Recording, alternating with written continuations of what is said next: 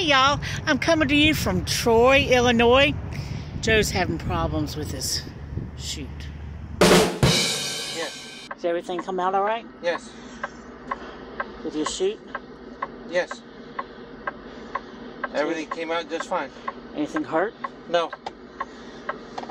Did you have to strain? No.